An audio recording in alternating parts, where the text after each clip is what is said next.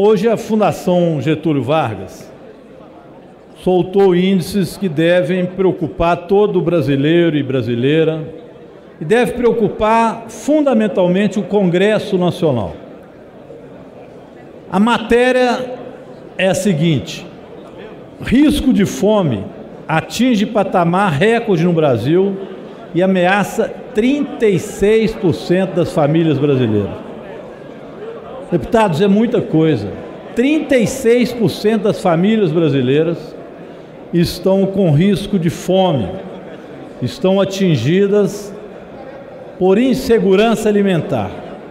Pela primeira vez, desde que esse índice foi conferido em 2006, o Brasil passa para o nível de insegurança alimentar pior que a média de 120 nações. Então não vale a desculpa que este é um problema da pandemia. É claro que a pandemia agravou a fome. Mas o Brasil está em centésimo vigésimo lugar em segurança alimentar. É o nível de segurança pior que a média de 120 países e a primeira vez supera a média mundial.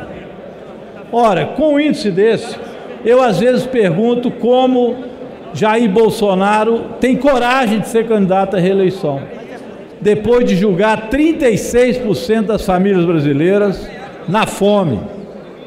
Como pode ter a cara de pau de pedir voto no Nordeste brasileiro, nas regiões mais carentes, onde o povo brasileiro agora não tem o que comer, onde o povo vai atrás de osso em supermercado. As cenas são cenas terríveis.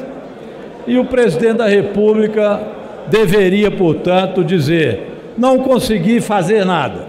Apenas o que fiz foi aumentar a fome do povo brasileiro. Consegui fazer com que o Brasil ficasse pior do que a média mundial e pior, que o Brasil ficasse no centésimo, vigésimo país em relação à fome.